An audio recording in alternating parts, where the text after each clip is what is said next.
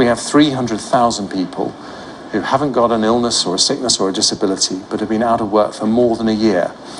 And we have a million vacancies. We have companies that desperately need their help to expand. And we're saying we need you to engage seriously and properly with the process of getting a job because that's what the taxpayers who are funding your benefits would expect to see. You're also announcing today that you're, you're tightening up the benefits rules because you say there are 100,000 people leaving work every year for what you're calling a life on benefits. We still have 300,000 people who've been unemployed for more than a year despite not having a disability or an illness. And we think it's fair, given that we've got a million vacancies in the economy, that they should engage properly. The idea that this government is even considering cutting benefits is just horrific. Six in ten people on universal credit can't afford to eat properly now. Why isn't this being pointed out? And let's take a look at where this is really coming from. How do we get inflation down? We increase the supply of things, right? That's reasonably easy for us to grasp. Where do we have inflation? We have it in our labour market, which is why we need to get much tougher on welfare. What's the number one challenge other than energy costs? It's getting access to workers and getting people to actually work.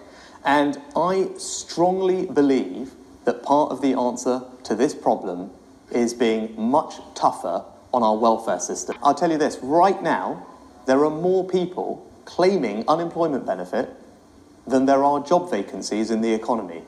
I mean, just think about that for a second. And that's happening under a Conservative government. That's clearly not right. Something's gone wrong. And if there are hours to do, if there's a job going, people should have to take the job as opposed to just being able to stay on benefits. And that's the change that I want to bring. The Prime Minister is actually shamelessly blaming benefit claimants for high inflation labour shortages. Labour shortages which in large part have been created by the Brexit deal he helped to champion.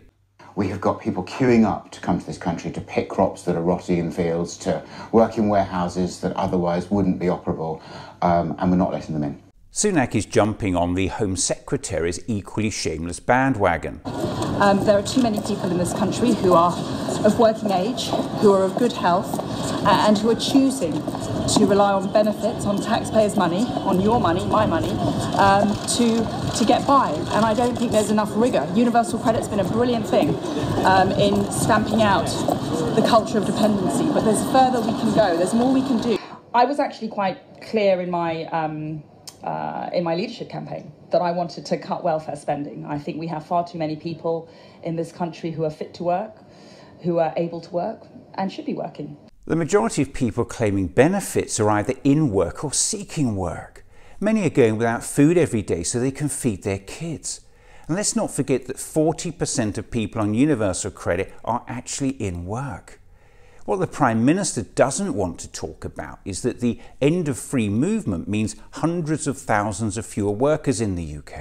And it's that which has played a significant role in high inflation labour shortages, a fact which appears now to be accepted by a number of senior members of the government who acknowledge that labour shortages, in part a consequence of the ending of free movement after Brexit, is a key factor in the UK faring so badly when compared to the US and the Eurozone. The UK is an outlier. In continental Europe, in the United States, inflation is much lower, interest rates are much lower. Why are we such an outlier?